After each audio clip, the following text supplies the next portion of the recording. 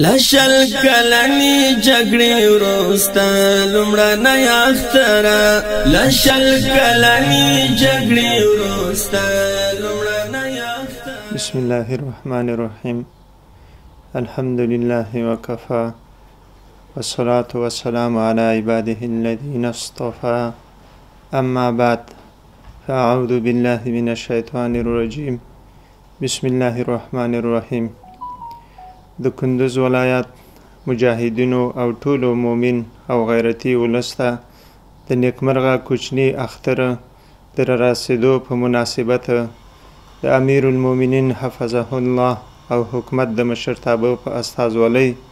مبارکي وایم الله تعالی مو روژې او ټول نیک اعمال په خپل دربار کې قبول او منظور وګرځوي د الله تعالی ډیر شکر ګزار یم چې سږ کال کوچنی اختر په داسې حال کې لمانځو چې هیواد مو په بشپل ډول له بیګانه اشغال څخه خلاص شوی وروسته له څه باندې څلویښتو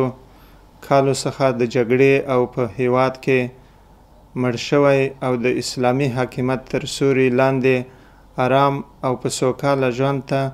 زمینه مساعده شوې ده. قدرمن او معزز ولسه! ستاسو مجاهدین بچي او ورونه په پوره ډاډ او اطمینان د اختر خوشحالویو لمانځلو په خاطر ستاسې تر څنګ په ښار او ولسوالیو کې د امن او د نظم د ټینګښت په موخه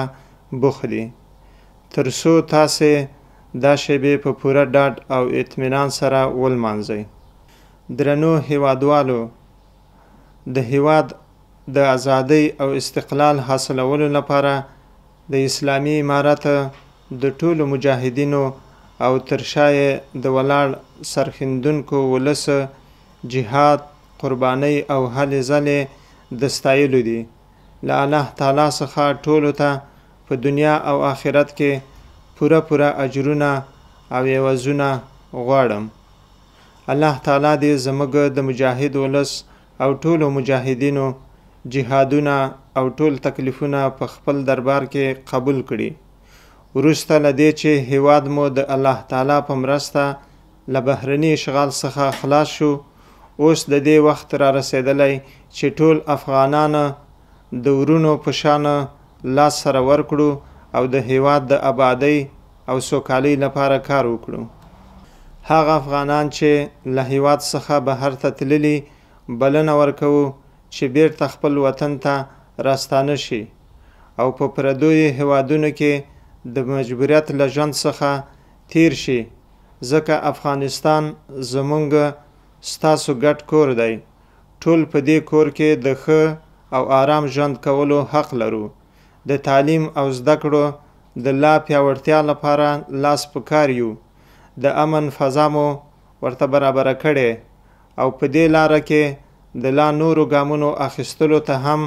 ژمن یو، ځکه تعلیم او زده کړه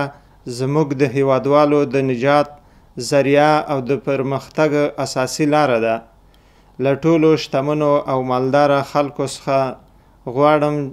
چې خپل ناداره او مسکين هېوادوال له پامه ونه غورځوي،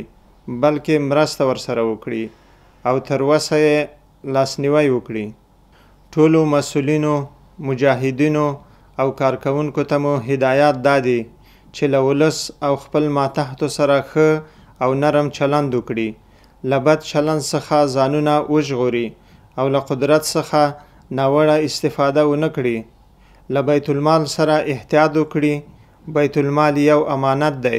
چې هیڅوک پکې د بې ځایه تصرف، ضایع کیدو، خیانت او شخصي کولو حق نه لري. په پای کې یو ځل بیا ټولو ته د اختر په مناسبت مبارکي وایم، ښې او خوشحاله شپې، ورځې